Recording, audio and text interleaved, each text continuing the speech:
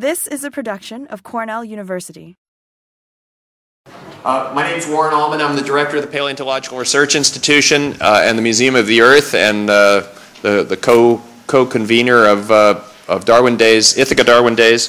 2009, of course, this is a special one this year because it's the bicentennial, uh, 48 hours from now is the bicentennial of Charles Darwin's birth. Uh, and uh, I have a little bit, of, I'm also the moderator for this panel tonight, but uh, before I, I do that, um, let me do uh, a, a, few advertisements and, and acknowledgments. Um, some of you will have heard this about two hours ago, so I apologize. Um, this is uh, the fourth uh, annual Ithaca Darwin Days. we've been doing this since 2006 and a number of people uh, helped make this possible uh, financially. We don't we don't spend a lot of money to do this, but uh, that little bit of money has to come from somewhere, and uh, it has consistently, for all four years, come from a, an alumnus of the law school, uh, Stephen Lowenthal, who um, is very dedicated to this cause, and uh, we thank him profusely.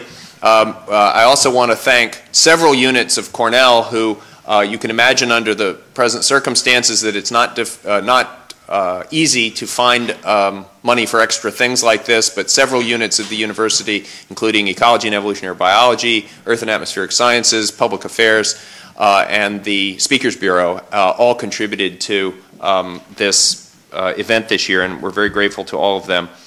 Uh, and uh, the PRI staff do most of the heavy lifting on this, and I appreciate all of their hard work.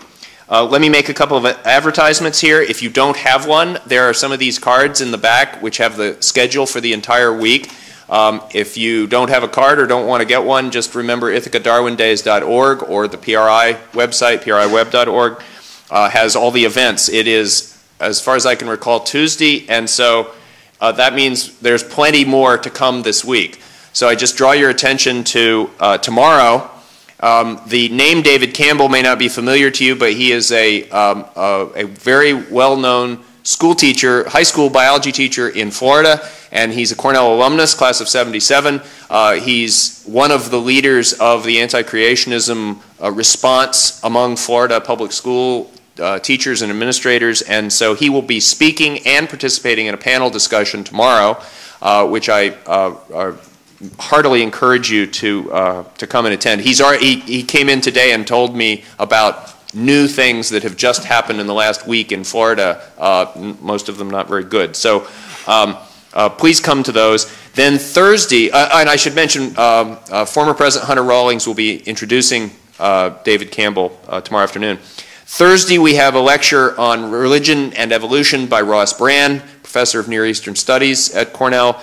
And then uh, one of the main events of the week, President Emeritus Frank Rhodes, who in a previous life was uh, a paleontologist and then in a, another previous life was, uh, was and still is a, a Darwin scholar, um, and is going to give, uh, I think, a not to be missed lecture uh, on uh, 20 or 30 years of studying Charles Darwin. And then right after that is going to be the opening of what really is special this year for Darwin Week, the opening of the Cornell half of a special temporary exhibit uh, called Darwin After the Origin. You all know Darwin wrote The Origin, but he lived another 20 years and wrote another shelf of books. And uh, this exhibit, which is at Kroch Library and at the Museum of the Earth, celebrates and, and uh, explores the books that he wrote after the origin.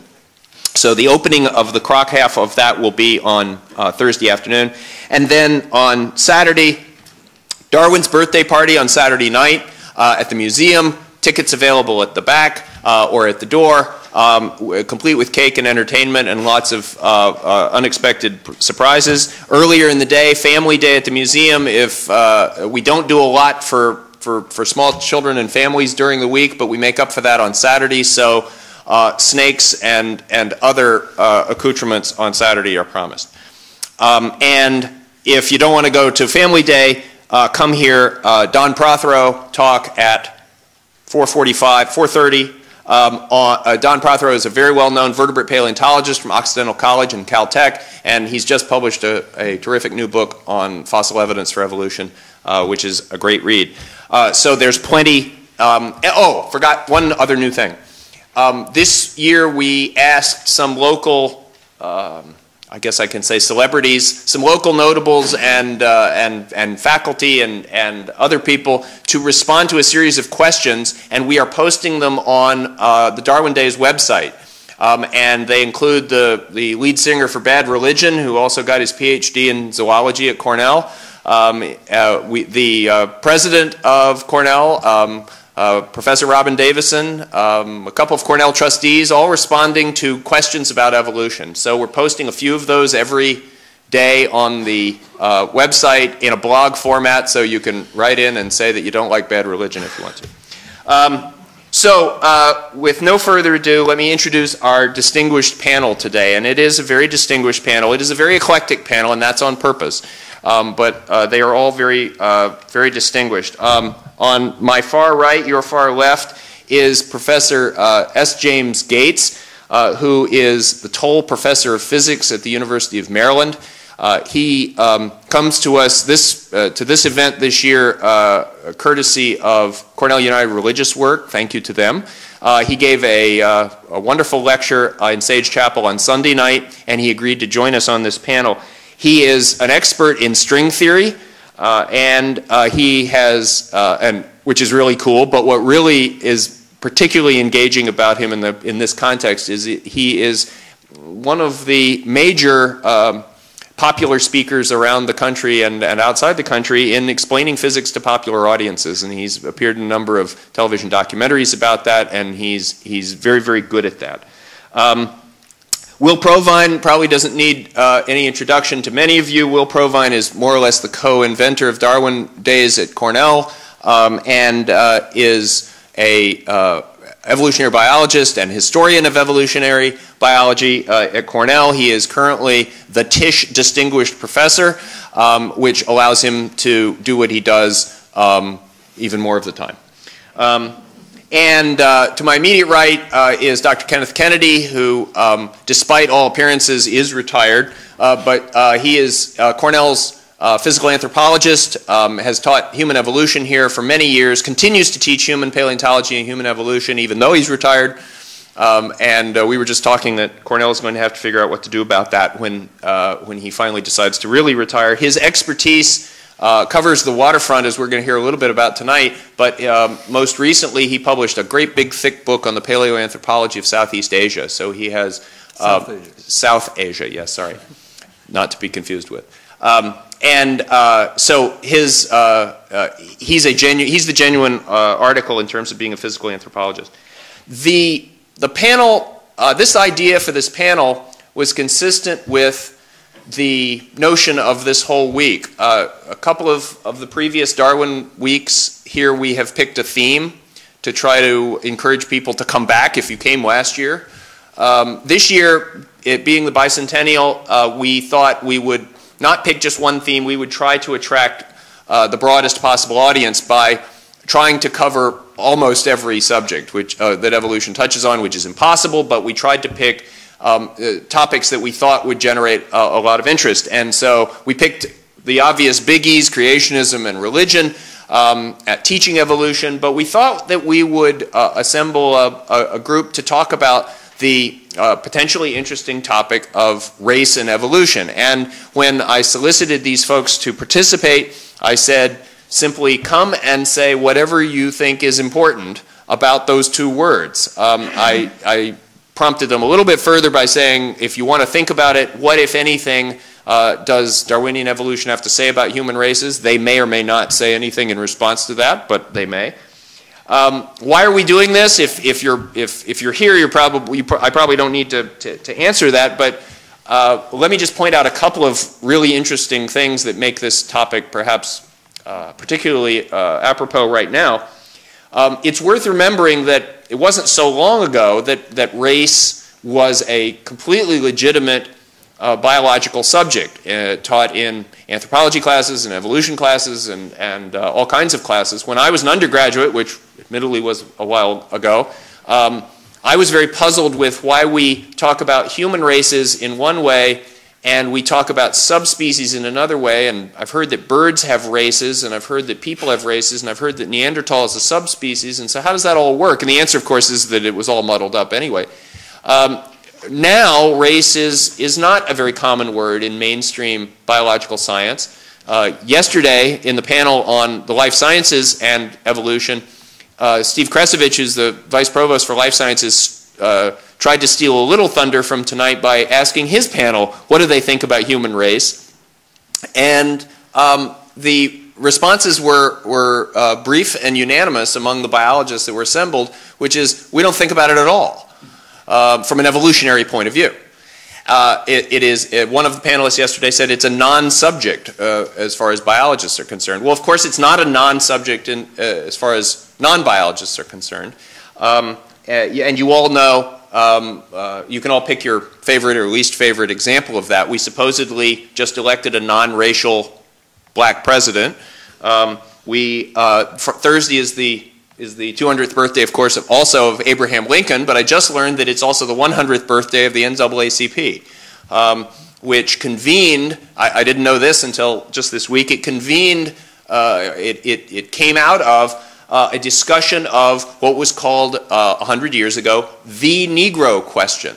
And that was a not just a social or political question, but it was also a biological question. So um, it, it is not so long ago that that was uh, part, uh, part and parcel of evolutionary biology.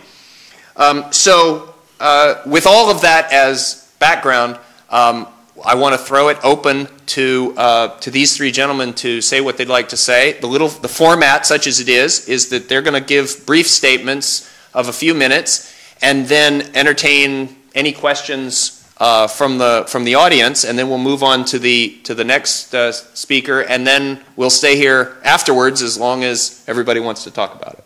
So, Jim.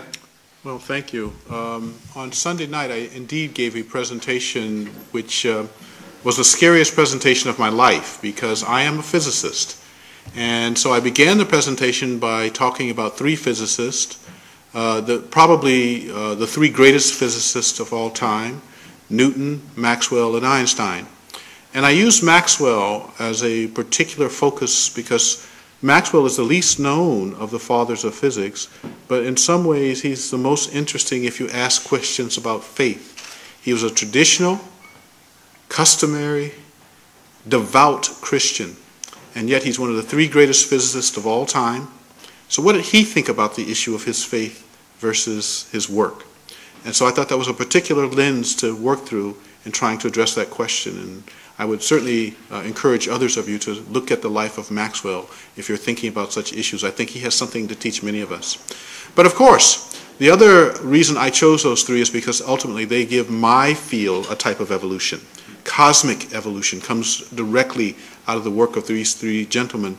The fact that as far as we can tell, our universe is about 13.7 billion years old and started with an event that we call the Big Bang and has been evolving ever since. I contrasted that with the work of Charles Darwin, the single father of evolution in biology. And I guess that just goes to show you that it takes three physicists to make one good biologist. but nonetheless, uh, Charles Darwin, of course, is a figure of much contention even to this late day and probably always will be because, because his work challenges us on very many levels. I'm sure you know the basic facts of his life. So he was born on the 12th of February in 1809, a birthday he did, indeed shares with uh, Abraham Lincoln. Um, he had a very long and successful marriage to a devoutly Christian woman. Uh, in fact, her name was Wedgwood, as in the China, for those of you who collect such things. Now, we're all uh, pretty familiar with the Darwin story. Even as a young man, he started out somewhat as an adventurer with a five year um, voyage on a ship called the Beagle. And this voyage took him essentially around the world. And um, he had the occasion to visit Brazil in the Bahia, uh, the city of Bahia, and to go inland. And there, for the first time, he actually saw the practice of slavery which I think made quite an impression on him. One of the comments he later made in life was that whenever he heard a human wail in misery, he always thought about the first time he heard such a wail, and it occurred when he went to Brazil. And he said, goes on to relate a story about how uh, some uh, slave, slave was actually being uh, disciplined for some infraction. And he said he thought it was the most terrible sound that he'd ever heard. He also went inland on that journey uh, in uh, Brazil, and not just to look at the the, the society, slaves holding society, but also to do what naturalists do, which is to look at the flora and the fauna of the region. And there's this one beautiful quote that the 22 year old Darwin made that I, I love and I'd like to relate to you. He said, I was led by feelings to the firm conviction of the existence of God and of the immortality of the soul. While standing in the midst of the grandeur of the Brazilian forest, it is not possible to give adequate idea of the higher feelings of wonder, admiration, and devotion which fill and elevate the mind. I well remember by conviction that there is more in man than the mere breath of his body. Now, that's the young 22 year old Darwin. But we all know, at least those of us familiar with the story of Darwin, that he winds up in a very different place at the end of his life with regard to religion.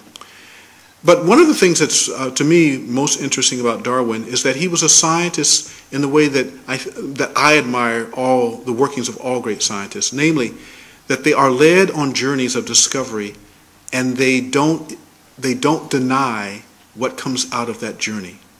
In the case of Darwin, we know that he was that his work in science ultimately does undermine his faith as a traditional Christian. And yet, even at the end of his life, I think some remnants, there's evidence that some remnants of that earlier Darwin was there. And uh, in fact, um, at the end of The Descent of Man, there's this wonderful quote about grandeur. He says, There's grandeur in this view of life, with its several powers having been originally breathed into a few form, one, or even perhaps one. And that, whilst this planet has gone cycling on according to its fixed laws of gravity, from so simple a beginning, endless forms most beautiful and most wonderful have been and are being evolved. One of his, near the end of his life, when he is dying, one of the things that he tells his wife is, "God bless you." And so, even though he is at the, some level rather agnostic in his belief, there's some residue there of a spiritual view. And there have recently, in fact, been books talking about Darwin that his uh, work as an abolitionist may have well driven his, uh, his, uh, his views on evolution. I find that a little bit fanciful, but there are recent books to this, uh, to this point, and you may read them and judge them on your own. But what I say about, uh, what, about Darwin is what I say about Einstein, is that these are people who are led by their science, and they don't deny where the science takes them. In the case of Darwin, of course, this five-year journey on the Beagle lets him have the opportunity to view many different life forms in various uh, settings. And it gives him, and he, Darwin, if you actually read some of the, the um, diary that eventually becomes his book, you find out that there's a keen observer that worked there, someone who notices details that perhaps most people would miss on a similar journey. And I encourage you to do the reading because it's actually kind of interesting. And so, this very careful eye which actually talks, for example, about the details of the social behavior in the societies around here, is turned on nature in the same sort of way in recording detail. And so, what one gets the impression, at least personally, the impression I get about Darwin, is that he's a careful observer, a, a property that every scientist has to bring to the task of doing science. So, when it comes to the issue of race, what, what, where does he end up? Well, let's first of all be very honest about Darwin. He was a, he was a man of his era. And that does not, so that does not mean that he had a kumbaya moment where he said, you know, we're all brothers and sisters and we will dance into the future together. That wasn't where he ended up on the issue of race. But what he did do is recognize the unity of the human race, that there, it's a singular noun, not a plural noun. And though he may have felt that European cultures and European people were the highest example of humanity, he understood that there was a connection between all of humanity. We are fortunate that we live in a time where the ideas of Darwin, in fact, have started to flower in a way that's quite unexpected. And I'm sure some of my other co panelists will speak on this, particularly the co panelists to my immediate left. But we live in a time where, because there was a Darwin, we are able to look at our bodies and recreate the structure of the story of our species as we populated this planet. It's a marvelous story that starts in East Africa, approximately 165,000 years ago. There are successive waves of migration that we can now track with our DNA, telling us who went where. And the first Africans to leave the continent essentially wind up inhabiting uh, the subcontinent of India and follow that route among the, uh, along the North Pacific. The European branch of our family is actually very interesting, has a very interesting story, and I don't know how many of you know it. But the European branch of our human family also heads eastward until about 80,000 years ago when it decides to make a 180 degree turn and winds up entering, Asia, uh, entering modern Europe. And so, without Darwin, this story of our connections to each other is not possible. And to me, that is one of the most wonderful gifts that science has given us in the last 50 or so years. Because science itself was used to perpetuate the myths of the, of the multiplicities of the human race. There was phrenology and brain cavity capacity and supposedly scientific studies which told us why we were different. And yet now we find our science is turned around because of its inherent, uh, inherent error correction mechanisms, is telling us a different story, a story of a human family, a singular human family. And it's a story that we don't always accept uh, so readily. So, for example, when genomic studies started to tell this story, uh, there were debates about the singular origin of mankind or whether there were possible multiple origins. And so, for example, there were studies in 1998 asking the question was, was, the, was the Chinese branch of the human family a possible separate origin place? We, uh, those of us who follow such things know the way that this story ends. All the evidence that we can get from, from genomics tells us that we're all African. It's a very interesting point. The African peoples who survive today have the broadest genetic diversity in the genome. If people had left that group, you would expect that under those circumstances, the diversity in the genome is narrower, and in fact it is. So in fact, all of our science says, you know, precisely what our religions tell us and what our spiritual and faith beliefs tell us, that we're actually brothers and sisters. And we're not so very far removed from each other. And to me, this is one of the greatest gifts that Charles Darwin has left us. We may argue with him about religion, but the fact that he has told us in a very precise way how we are related to each other, I think is something that we should celebrate. And that's why I'm particularly happy to take part in this panel. Questions for Dr. Gates? Gene. It's interesting that the Church of England allowed him to be buried in the cathedral.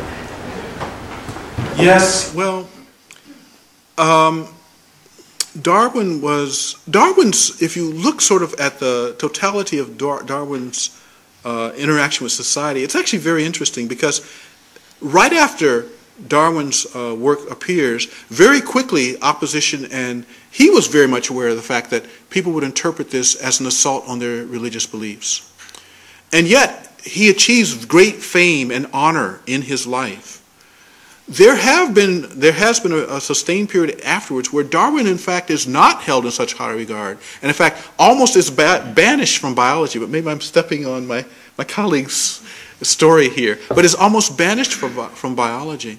So it's not surprising to me that in his lifetime, his fame is sufficiently uh, great, and his, the contribution that he has made is sufficiently uh, well known that this concession was made by the church. I think probably what's much, to me, the much more interesting thing was, in fact, uh, how he is able to animate his beliefs in abolition, because that's a really uncomfortable position, perhaps, uh, to hold at that time in society. But the church indeed made its peace with him in his time, in, well, at the end of his life. There are two hands. Yes, sir.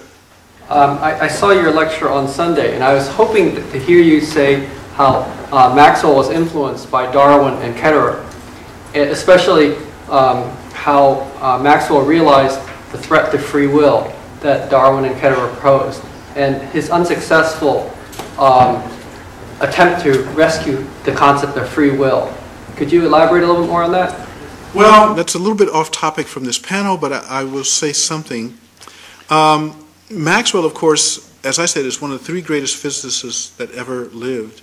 And but he was all, and though a devout Christian, he really didn't believe in manifest destiny. That in fact, that free will is also a, in Maxwell's terms, that free will is also a gift from our Creator. Mm-hmm. And so um, it's consistent with his religious beliefs.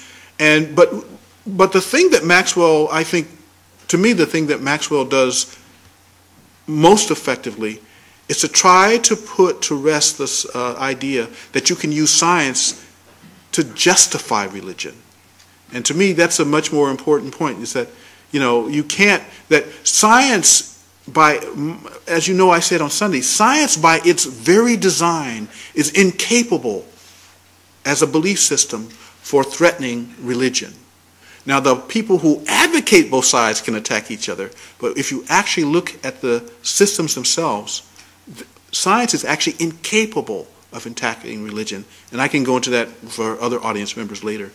So, um, Maxwell's um, sort of Mac Maxwell's um, arguments about free will come out of this belief uh, as, as, both as a scientist and also as a, as a Christian.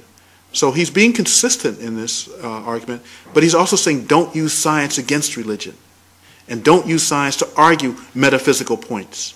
And the question of free will at that point in time is a metaphysical question. There was another hand in the back.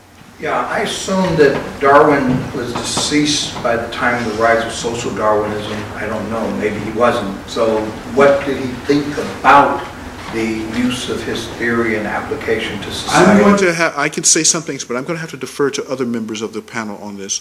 Um, he was not deceased by the, by the time that social Darwinism arose. However, he is not the father of the idea either. That's a point of confusion. I mean, it's the name that's attached to the set of ideas, but he is not the father of these sets of ideas. In fact, one of his relatives were, if I remember my history correctly. So, um, I'm sure we'll, I'm sure we'll come back to that question. Okay, good. And, well, let me let me stop here then, and, and maybe be more adequately treated by someone else. So let let's hold off on that, and perhaps one of my other one panel members. There was another hand down here. It's right here. Oh yes. Now you've pointed out the impact of DNA on understanding race, that we are really one people, as our president says. But now, how about brain imaging? Will that throw a light on spirituality, perhaps? If I believe um, as Maxwell, and I do, you don't use science. Yeah, that's it. If you're asking questions about a physical reaction to spirituality, if that's your question, then yes, I can see how science is useful. But if you're asking a more essential question that we will ultimately understand why we're spiritual because of some set of physical observations, along with Maxwell, I don't believe that. I've had an average of two MRIs every year since 1995. They disagree with each other regularly, and they are nearly worthless for evaluating whether my tumor is growing or not. I do not believe that they are going to be able to Uh, analyze our spirituality with an MRI machine or a functional MRI machine. But they but they found out that you didn't have that part of the brain that does spirituality. you can tell your you can tell when your friends are on a panel. Gee whiz. Um, okay, so let us uh, now move on with that to uh, to Will Provine. When I came to Cornell, I had no doctorate degree, and I finished writing it the first year here is a history of population genetics. And immediately, when I finished that over spring break, I started a new research project, which was the history of biologists' attitudes towards, towards race differences and race crosses. I started in on that research, and indeed, I started with Darwin. And I found out that Darwin had a very uh, interesting view of human races. He believed they were all of one species, but they differed mightily between each other. And he had a whole category. The lowest at the bottom, get, take a guess. Do you think it's Fuegians or Australian Aborigines? Which do you think?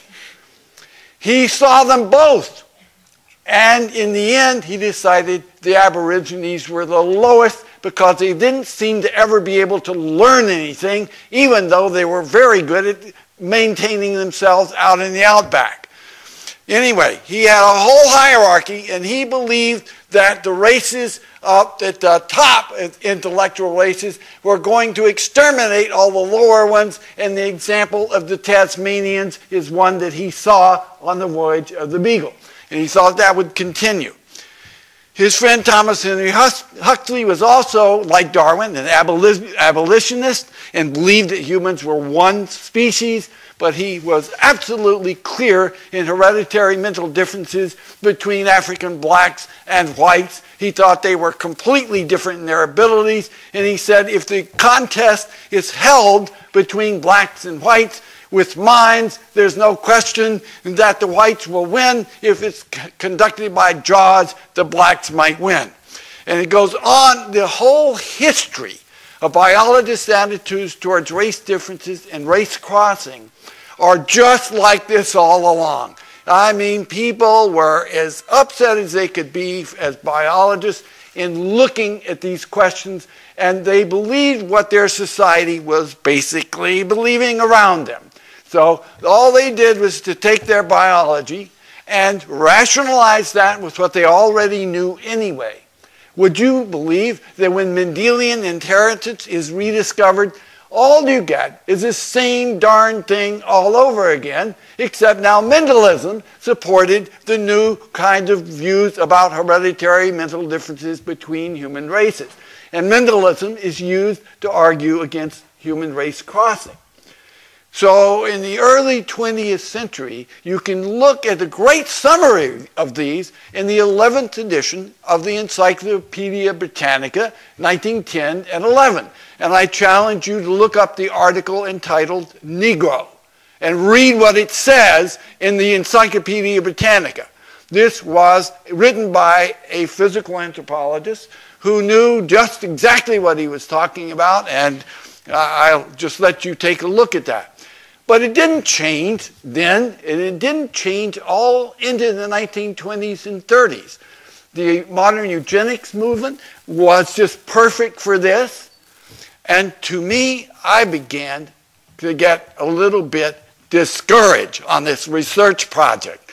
So when Sewall Wright came along and I saw this great evolutionary biologist and I had a chance to interview him and write a book about him, I said, all right, I'm going to put that race book aside.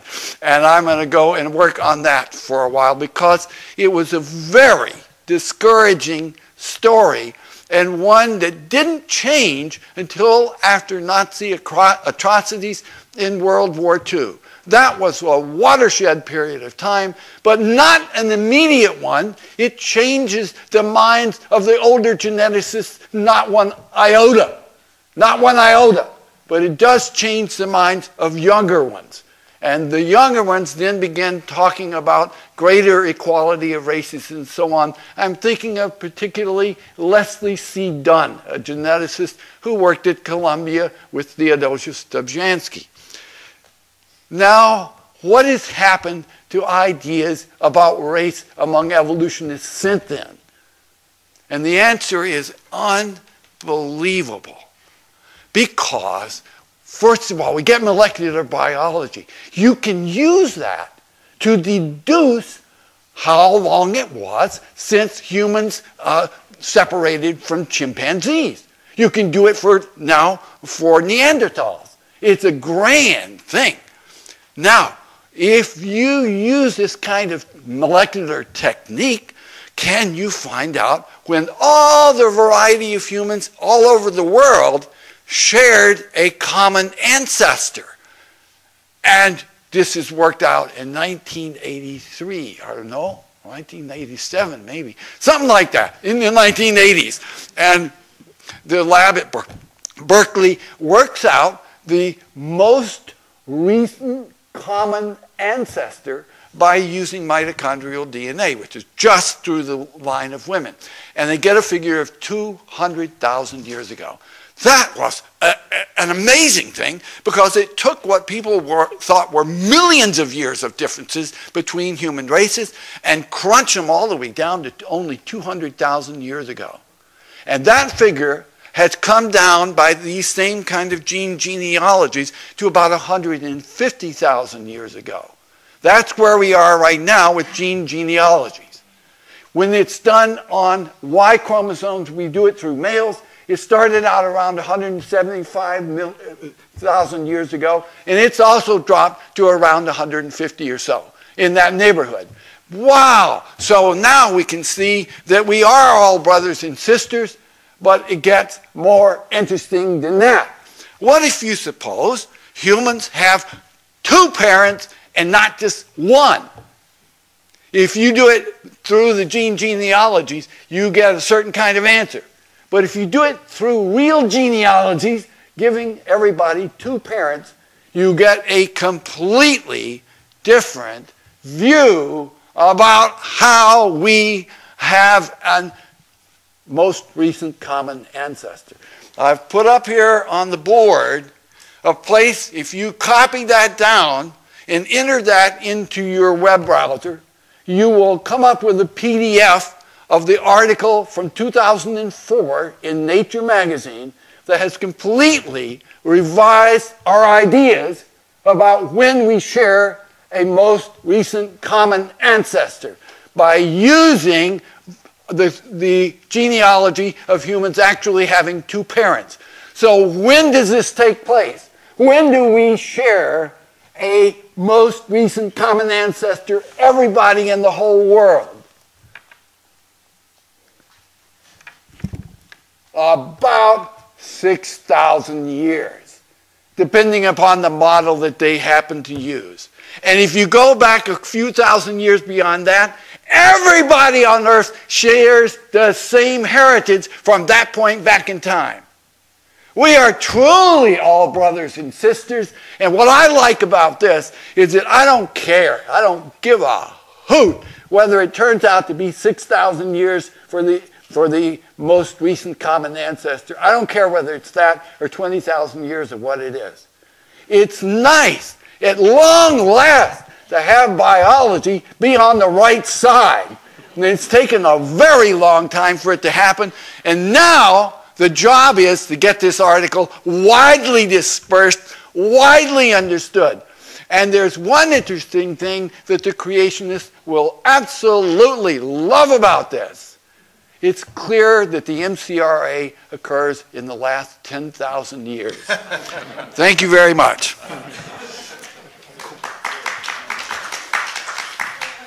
Questions, please, for Dr. Provine. Yes. That's a, that's a very powerful message. Um, and I'm glad you shared it, and Dr. Bates, I'm glad you shared yours, and you have the same basic point. Uh, My concern is sitting here, let's say, um, is there some threshold? Let's say we did the same research and it was 100,000 years ago, or 5 million years ago. Is there some threshold where it makes an ethical difference? And I'm starting to think now in terms of us and chimpanzees, as an example. Is there some I've point never, where the I've never held the view that what's true of biology should determine my ethical views about race differences. It's not a biological issue whatsoever. We don't know anything about it. What the, the hereditary mental differences between racial groups and so on are. I suspect they're basically nothing now that we understand a little more about our phylogeny. But in any case, I don't think it depends upon the biology uh, on which I base my ethical view. My ethical view is everybody gets the same treatment, has nothing to do with biology. Absolutely nothing. So to me, I agree with your point, and I've argued that for years and years and years. It's not a biological point. It's, a, it's purely and simply a basic ethical point. It's a talking point. It, it's more than a talking point, Jim. May I, may I chime in on this discussion? I think that uh, certainly as a physicist, when I look at this debate, and obviously as a human, so I take part in it from that point of view, but one thing that I, I, I always try to keep in the back of my mind is that we also have to be as brave as Darwin about this, and that is to follow where the data leaves us. And so if there are differences that are significant, we ought to be very honest about that too. Sure. But as my colleague Will just said, that should not be how we fix our ethics.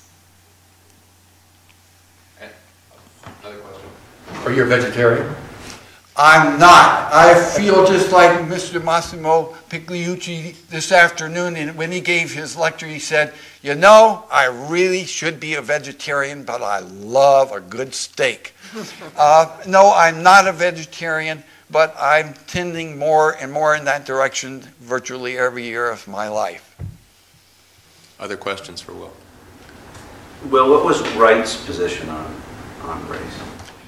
I talked with him a good deal about that. He didn't agree with his colleagues who had more uh, of, a, of, a, racialist kind of view. He had his, his one of his teachers was Edward Murray East uh, at Harvard, and East was a very intense racist in his writings, and Wright clearly did not agree with that. On the other hand, Wright had a lot of sympathies for eugenics. And what we find of the, of the eugenics movement is that it gets up to World War II in pretty darn good shape.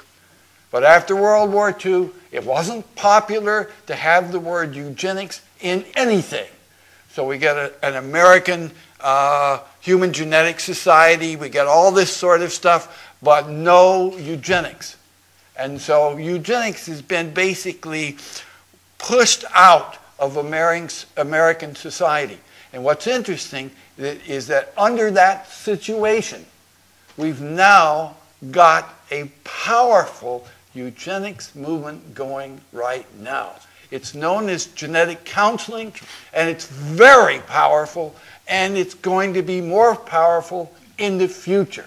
What we have is a booming eugenics that's going to get more and more intense. Maybe we should think about that. That was actually one of the points that came up yesterday in the panel about the life sciences. That it was called yesterday. It was called personal medicine. uh, not my term. Not, Gene, go ahead. We all started uh, with a common ancestor. Yes. Biology can instruct us as to why we have races on this planet right now. Can you comment on why well, we have races? One thing that we know for sure is that Australia has had Aborigines there since uh, about 30,000 years ago, or maybe even longer ago than that. How could it be that they are part of this recent, uh, most recent common ancestor within the last 10,000 years? And the answer is there was so much migration of human beings that they are not separated biologically from the other human beings in Asia and so on. The rate at which humans spread across the Pacific Ocean is absolutely stunning, and all it takes is about 150 years for people to come across this, the Bering Strait and then go to the southern tip of South America. It's absolutely incredible how mobile we are. And everything that looks uh, like, gosh, these things are all completely permitted or something like that, it's not true at all. So the so called different race that was in Australia was actually changing genetics back and forth uh, with different groups. And uh, the, I think the, the, the argument of a more recent, most, most recent common ancestor is so strong I can't get it out of my mind. I'm just thrilled. I thought you were going to go the other way and say that uh, uh, natural selection, perhaps, or environmental factors had an impact on why we have Asian Pacific versus Caucasian European versus Native American versus Aborigines, whatever. Well, there's no there's uh, no question that natural selection has acted on skin color, for example. That no no biologist that I know debates that.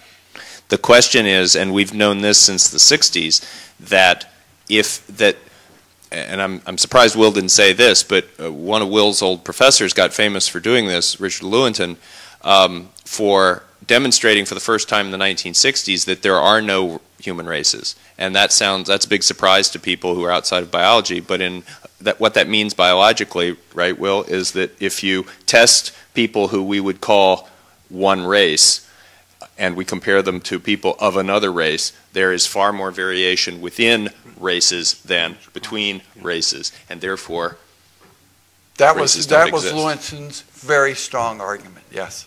So in that in that sense, what you but that doesn't remove the biology of humans or natural selection. It just means that what we see as skin color is only one tiny piece of this much larger puzzle. Um, okay, so uh, Kenneth, you're on. Thank you. I'm a biological anthropologist. I have done most of my field work uh, in paleoanthropology of India, Pakistan, and Sri Lanka, but I've also been very interested in the history of biological anthropology, uh, which goes back a few centuries. What I would like to clarify and uh, continue with what has just been said is the concept that the race concept, the, the traditional race concept, is defunct in science. It's not there. What happened? Well, let me give you a very brief background to that. It was in entomology and ornithology that biologists had trouble with the subspecies concept. They didn't disagree that birds or frogs or what have you uh, were not of the same species, but there were differences within the species, even though they might interbreed and have fertile offspring. But how do you account for those differences and how do you identify them with a name? Well, we go back to Linnaeus, and Linnaeus had no problems with that. In his early taxonomy, but particularly in the 10th edition of uh, his System of Nature in 1758, he listed a number of different groups of humans living and decided that those were indeed races. So that traditional concept of race has been around for over 200 years. It's still alive and well.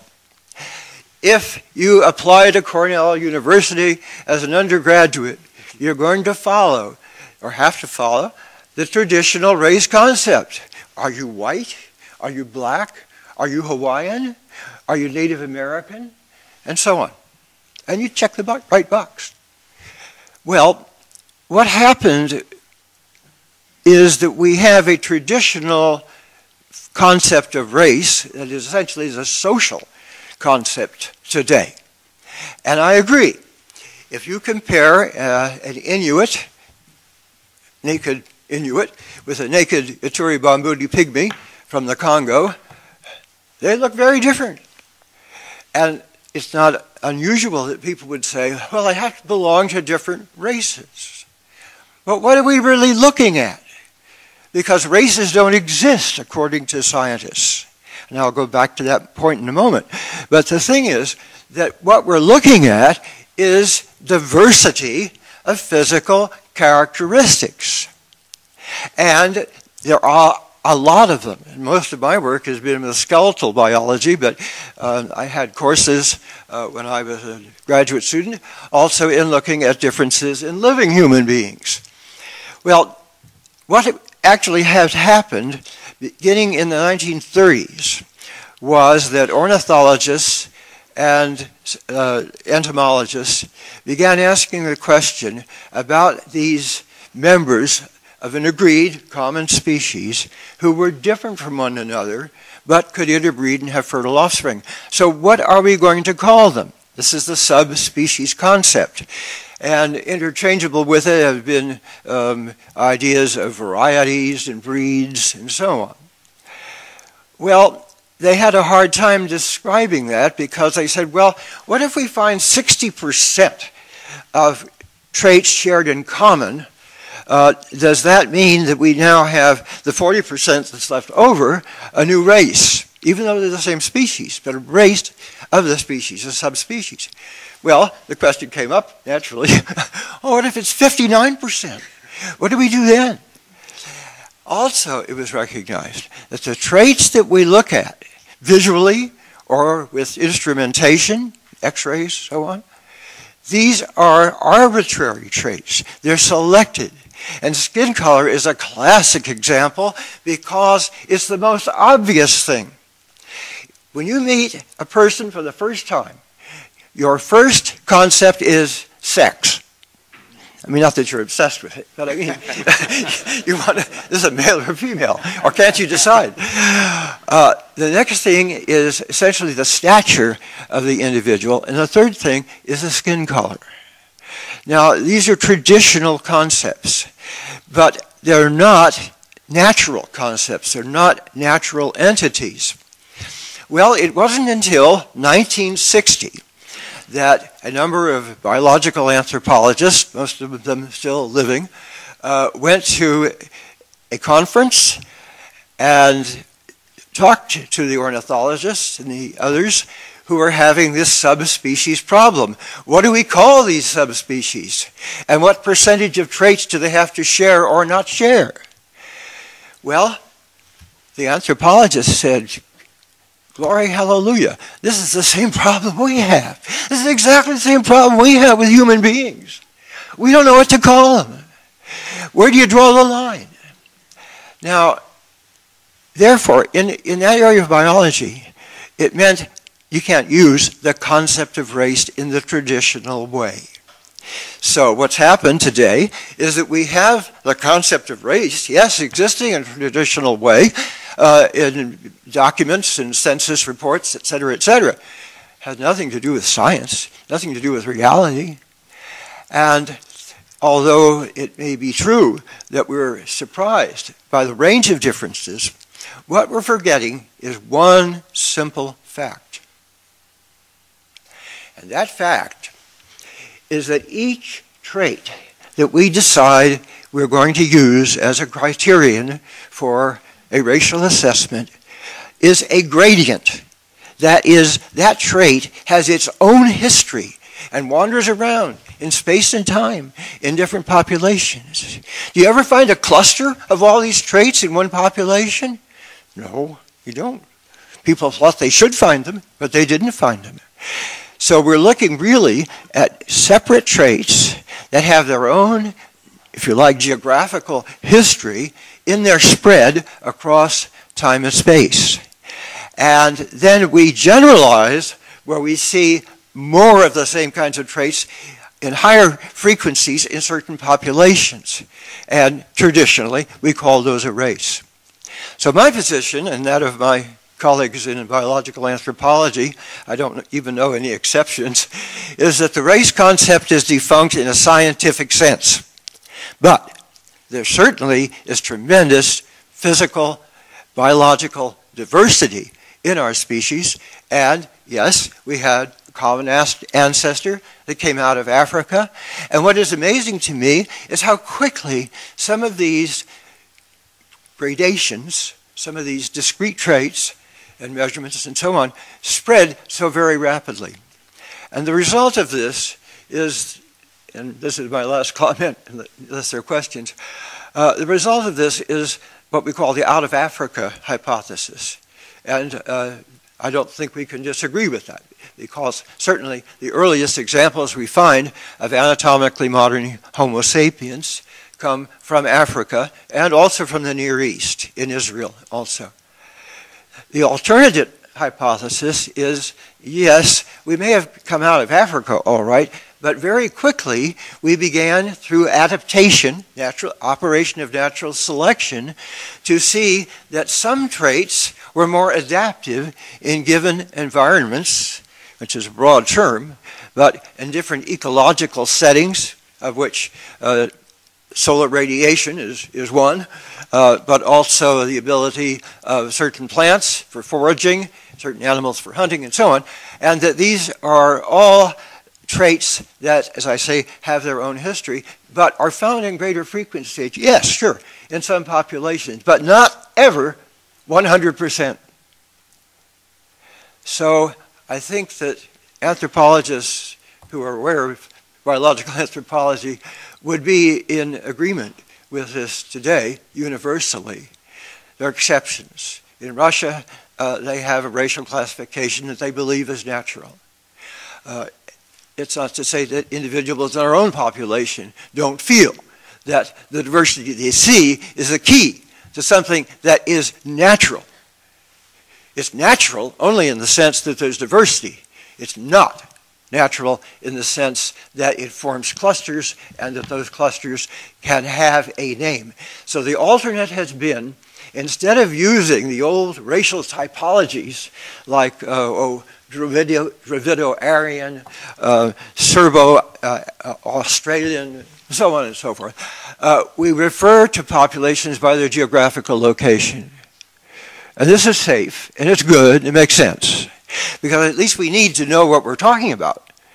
And the way to do that is not to use an outdated vocabulary, but rather to see where the geographical, geographical distribution is for these populations which are of interest to us. Thank you. Beautifully put. I should have kept my mouth shut. Um, okay, so let me uh, throw it open for questions to both uh, Kenneth and, and the whole gang. So. Gentleman that I postponed, so if you could Oh. ask your question again, maybe the panel can address it. One about social Darwinism? Yes.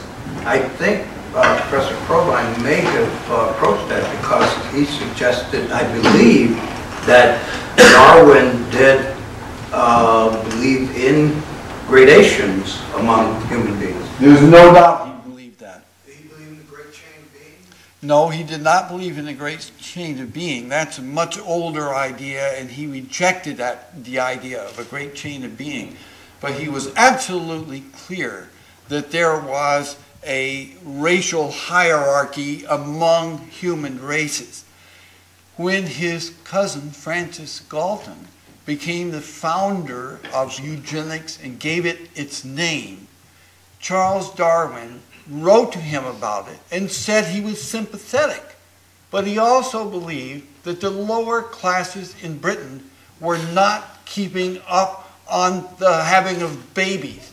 They weren't having, they were so unhealthy, they weren't having as many babies. So Darwin said, I don't see a real problem. I don't think we have to institute any eugenical rules. And Darwin never participated in that direction. But he told Francis Galton that he was sympathetic to his idea of eugenics. Social Darwinism, though, is is somewhat different. Social Darwinism, um, I suppose, could grade into um, a racial discussion, but social Darwinism was um, an even broader concept of saying that um, basically if, if th those who are on top deserve to be on top by merit, and those that are at the bottom, however you define that, deserve to be there. And that, uh, as many of you know, was has been used in all kinds of different ways. Um, it, it, your original question, though, is, is uh, uh, important. Um, he did not coin the term, and it was coined before his death, and its peak was probably reached around the same time, uh, or around the 100 years ago for the, the, first, uh, the first centennial. Um, and today, it's actually, if you Google social Darwinism, you'll see that there's a fair historical literature on it still and what its implications have been. And only part of that, from my reading, is, is racial. It, it, you know, it trans, it's, it's, it's uh, industrial policy and immigration policy, and all kinds of other things. Other questions for? Yes, sir. Um, I was just wondering about the idea, like the, the, the race concept, and I'm certainly well familiar with the idea that there aren't any meaningful clusters of, uh, of traits, especially not that go along with, with, with skin color. I've heard some people discussing in a medical sense that there would be, might be some conditions that are more associated. Would that be more associated with specific geographical local populations, or would that be more kind of I guess, a statistical fluke. Like if you measure enough things, Mm-hmm. statistically some things are going to be correlated with other things. So if you measure enough medical conditions, then just by sheer fluke, some of them are going to be associated with race. Yes, you can speak to that. Well, let's give an example. Uh, Tay-Sachs disease is very common uh, of people of uh, Near Eastern descent, Jewish people particularly, and it's higher among them than among other populations, but it's not restricted to one population. Uh, the gradient that causes that has also been elsewhere and, and pops up. Uh, we could think of another example, a number of examples uh, where it's very hard to explain why they occur. Uh, big, thick brow ridges, which we associate with Homo erectus and to some extent with Neanderthals, uh, still occur in parts of the population. And a study that was done by my colleague, uh, Loring Brace, among Scandinavians, found big brow ridges among Scandinavians. I didn't tell them they were Neanderthals, of course, but uh, the point is that some of these traits were adaptive perhaps at one time in our biological history. And now they just hang around as genetic junk, but they still appear. So I, I, I, I don't know of any traits that are so peculiar that they can be related just to one population. They're spread, but with different frequencies. That did come up yes, in yesterday's panel with um, uh, uh, Carlos Bustamante and uh, uh, Andy Clark talking about, um, th again, this personal genomics that they see as the future of medicine um, when we are all, they were they were talking um, um, and I'm skating onto thin ice here by paraphrasing them but they were essentially predicting that uh, rather than grouping people by races not too long from now uh, we will all be um, sequenced and uh, individually and that will be the basis for instead of saying oh you're white we can treat you this way we'll just say here's your genome and we'll treat you that way um, with all the potential negatives that that in, in, encompasses. But um, uh, and that was their specific answer to that specific question yesterday. I think that there's some severe limitations to having our personal genomes. The reason why I say that is because if you have your personal genome, you don't want to share it with your life insurance company, right? But it turns out that it's no big deal for the following reason. When they trace diseases back in your genome, it's funny. They disappear on the way down to the genome. And you get four or five or six percent of the variation accounted for by getting to the genome. So it says, what's happened to heredity for about these diseases? What's happened to heredity? It turns out that your genome won't be very much use to your life insurance company. What they're going to care about is what they've always cared about your family history and things like that, which is much more telling than your genome. Don't worry about your personal genome. Forget it. Thank God for that. um, well, Dr. Kennedy, uh, I remember taking your undergrad classes back in the 70s, and you were just as eloquent about these same topics then as, as you are now, and I appreciate what you had to say. I had a question for, I guess there's four of you up there, you probably have four different opinions on this, and I know it's intentionally naive. So here, the racial concept is, in terms of biology, um, justly discredited. And yet, even today, people use it as their basis way, a basic way of Cornell, classifying admissions. Why? Is there, is there a prospect of change in that, and why does it continue? Well, I find with my students, uh, when I talk about um, human diversity, that many of them do uh, believe in the traditional race concept. And uh, they may think of themselves as uh, having parents of different ancestry. In fact, the word ancestry is what we use more often because once you have a population geographical area uh, and you ask what their ancestry is, well, that gives you some idea, uh, but it doesn't deal with race. So I, I, am not sure I'm quite answering your question, though. What, well, I guess again, once again, uh, um, if the race concept, and, and I accept this notion, because um, I was well trained by you, um, if the race concept doesn't have a basis in biological uh, discrete units. No, that's right. It Why not. is it continuing, and is there a future hope that it won't continue? Is it useful to people somehow? Well, what continues is socioeconomic status. Yes, that's and a fact. Cornell, in its admissions now, does not look just at race, but at parental education, rural, urban, single-parent household, number of variables.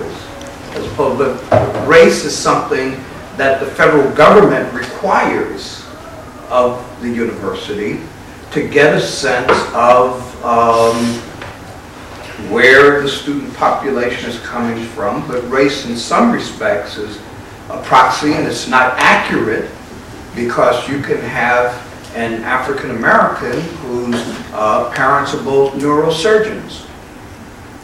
I think the answer is the persistence of the traditional race theory uh, among people who are not uh, biologists or geneticists and know that that traditional view uh, is false. Jim, did you want Yes, to? I did actually want to say something on this issue. Um, let's be very clear that that in some sense we Americans have evolved our own definition of race. And that's particularly true if you read enough of the history of this country. Uh, race in this country is was defined because of the institution of slavery. It was a, it was an easy moniker to decide who would be a slave and therefore the accompanying benefits as well as deprivations that accompany that assignment. So we have, in, in some sense, we have invented in this country a definition of race. It's, it's perhaps um, not uncommon to see this in societies, but there's a peculiar history of the topic here. All I think scientists can tell you is that we don't see it in biology, we don't see it in anthropology, we don't see what this concept makes sense. However, the social construction of race is very alive in this country, and that's something that we as a people, because the American people have to deal with this issue in a certain way because we made this definition. That's something that we're going to continue to wrestle with, and I don't expect to see major changes, except that I'm actually an optimist about what this country is capable of doing. I am too, and I think having our president will help more than any other one single thing. You're a real optimist. Question over here. No, maybe I'm misunderstanding the conversation here. I can think of right off the top of my head CCR5, which is the, um, the, the, immunologic uh, antigen that is latitude dependent. It only appears on northern Europeans and increases with latitude. And it's, you know, it's the uh, basis for natural immunity to AIDS. That's only, as far as I know, that only occurs in northern Europeans. Yes, I agree. I agree with you. Uh, there are some traits that uh, are unique in certain populations. We don't find them elsewhere. And that's a case of, uh, of a variable uh, having a rather limited geographical distribution in one population, and that does occur. Uh, I think we all know um, about the uh, steatopygia uh, among what were formerly called uh, Bushmen Hottentots, now called the San people, mm -hmm. and they speak the San language. Uh, that does not occur in Europe or Asia, as far as we know. It is sporadic in Africa. So you can find some traits that are limited to certain areas. Not every radiant is going to spread around the world. Uh, but the fact that they are so wide, that some of them are so widespread, uh, suggests that this represents contact uh, between people. That contact is probably based primarily on economic factors of trade and exchange of goods and barter and so on. And it's not quite like a sailor having a girl in every port. But in the course of this uh, movement of people across space, for economic reasons, there's going to be some gene exchange, right? You're going to have some gene flow. And that may be something that turns out to be very adaptive, or it be maladaptive, or it may be just genetic junk doesn't have any role. But the distribution, we don't know the distribution of all of these traits. We know the distribution of some. And uh, traits is probably not even a good word.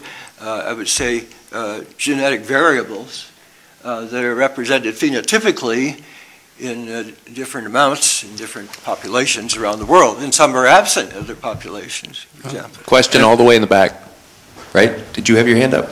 Oh, I did, but I uh, well, let me just say I, first of all, enjoyed the panel and it's very pleasing from a personal as well as intellectual standpoint to see at this occasion of the celebration of Darwin's birthday that we can now say that race is scientifically defunct.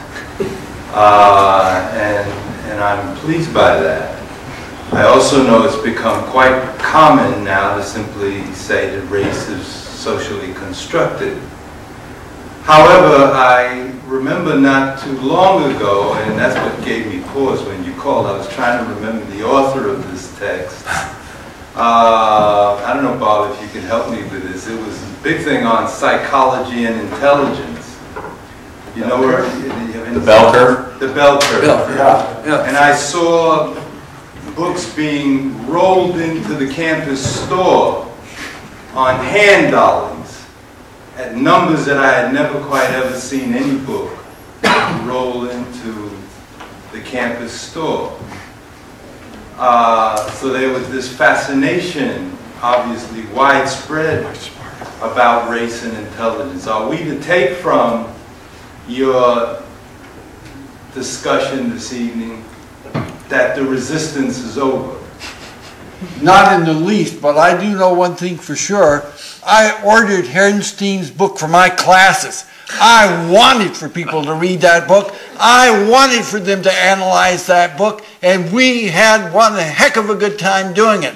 It was a wonderful book for us to use, and we also used Jensen's 1969 paper. We used a number of these documents in order to see what kind of arguments were being used for hereditary mental differences between races. And those studies were very sadly and deeply flawed, and that's what we looked at by ordering these documents for use in our classes. But I ordered Herrnstein's book for That, that, ex- use. that explains the 300 copies.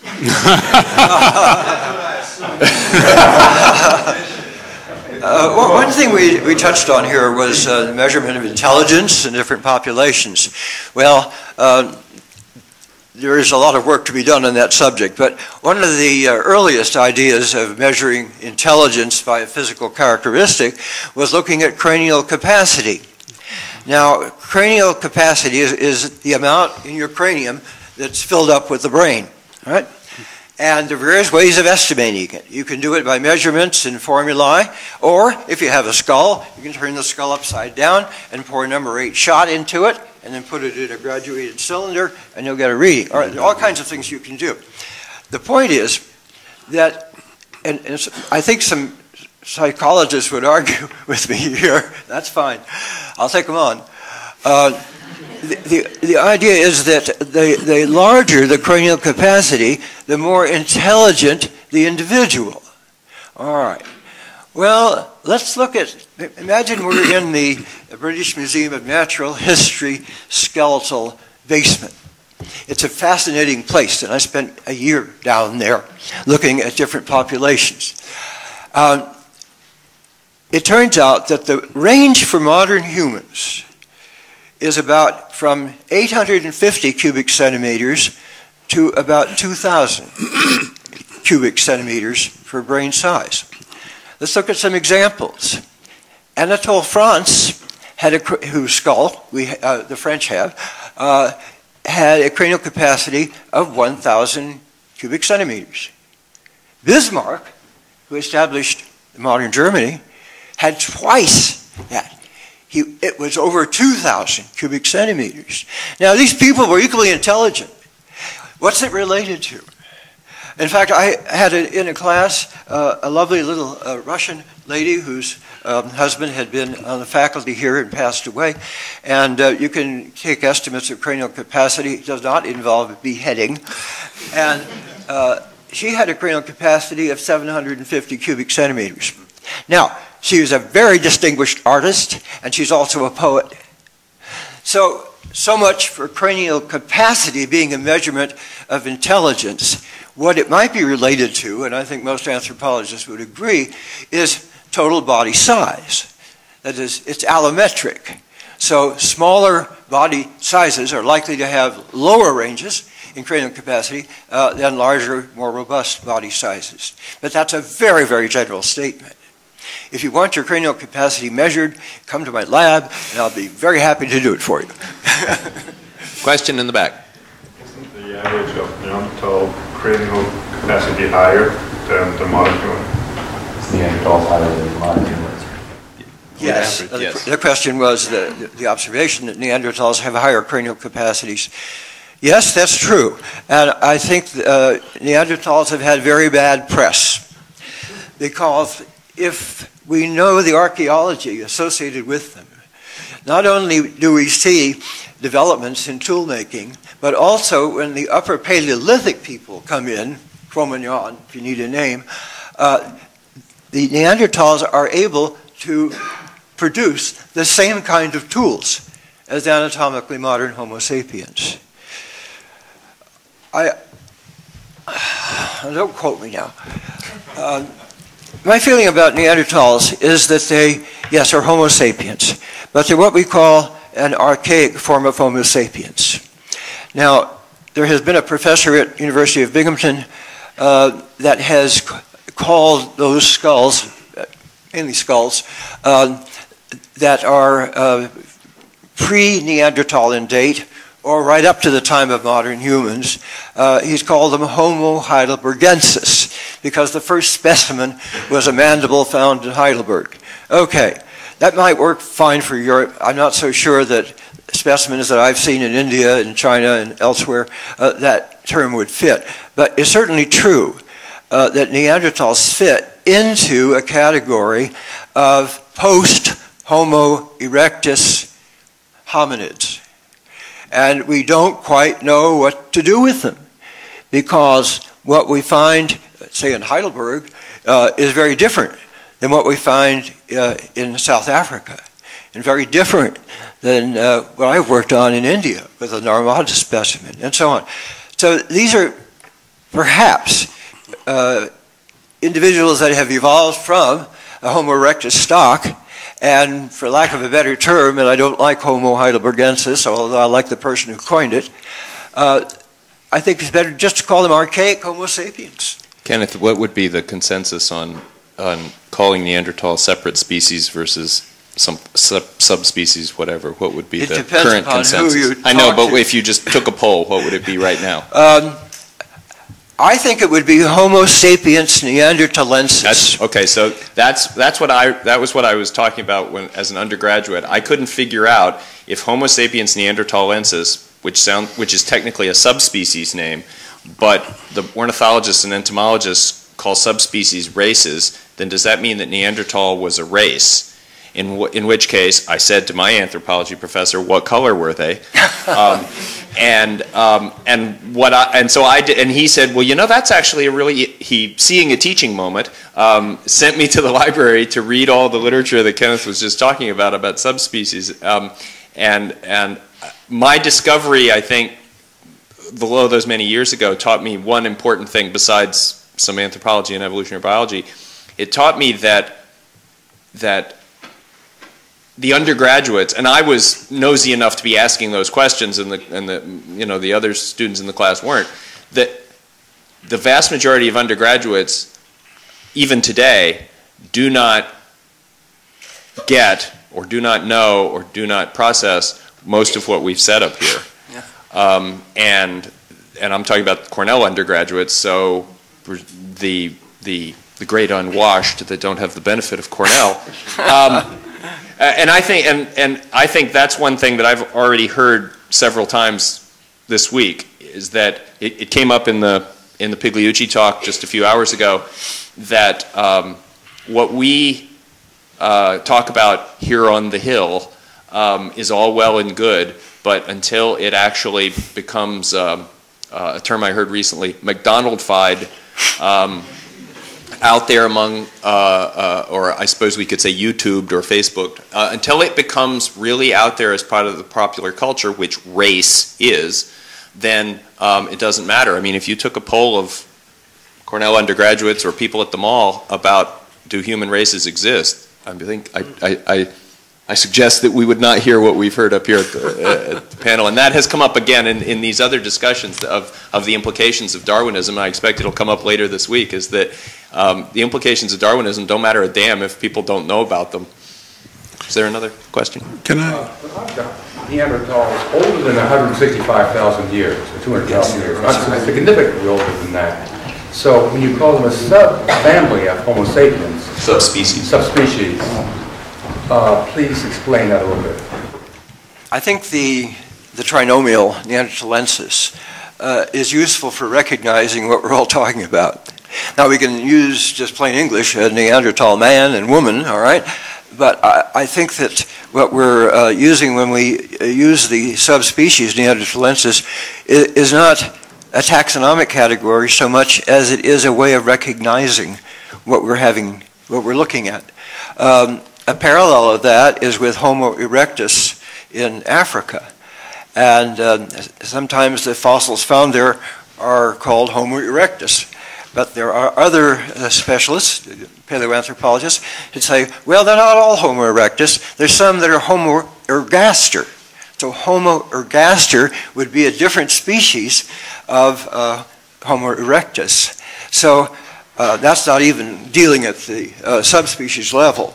But there certainly are arguments in any biological situation about what species are. It's not that clear cut. But when you get into the fossils, um, you know, what you can do is uh, have two, a male and female fossil of the same um, so-called subspecies, and uh, put them in the lab and have a candle lighting and some Chopin playing in the background. Are they going to be interfertile? No. You go in your lab the next morning, they're still in the same position where you left them. So this is one problem we have with Neanderthals is whether you're able to interbreed with what we call anatomically modern, whose uh, Homo sapiens, whose features are, are quite distinctive in many ways from Neanderthals. Jim? I, yes. I, you know, I, I've been uh, thinking about these questions for a while, even before I knew I was going to be asked to join this panel. And the one thing that I take away from this, this debate is a, a rather simple statement that if we as humans are going to define race, then it should be looked at someplace other than in evolution. And I think that's the most important message that evolution and race has, is that you have to look for a definition that's somehow outside of evolution. One more question? This actually leads a little bit to the question that came up to my mind while listening to today.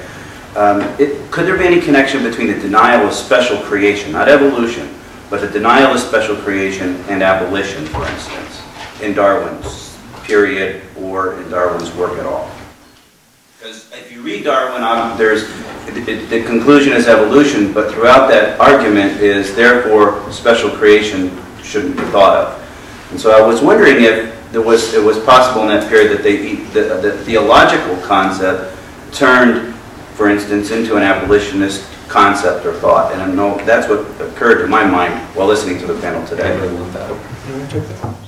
No. Well, I will. I'll just say that. Um, I mean, not being an anthropologist, I just know what I read. Um, if you read the history of natural science around just after Darwin, so the 1850s, 1860s, and particularly because this was when the whole world had the whole scientific world had to decide, right? It's like it's like being a geologist in the 1970s. You had to decide if continents moved, and so in the 1860s, biologists had to decide did evolution happen or not and we celebrate the, the, the ones that picked the right team, right? And, but there were a bunch of them that picked the wrong team. And so it's fascinating to read that literature now and notice that, as, as I think Will said, that you can change the rules of the game and people's opinions don't necessarily change. In other words, people who were not particularly racist by the standards of the day and like evolution weren't particularly uh, racist after they adopted evolution, they, uh, and, and people who were creationists who were abolitionists uh, didn't become uh, more or less abolitionist after evolution, uh, after evolution came along. In other words, it, and maybe this is reinforces what Jim just said, that opinions on race didn't have anything to do with the adoption of evolution just historically. People were racist before and after, regardless of what they thought about evolution, and that's quite striking. Louis Agassiz being the type example of somebody who accepted, who did not accept evolution but was a vicious racist, and there were other people who were um, uh, aggressive abolitionists who were also creationists after Darwin.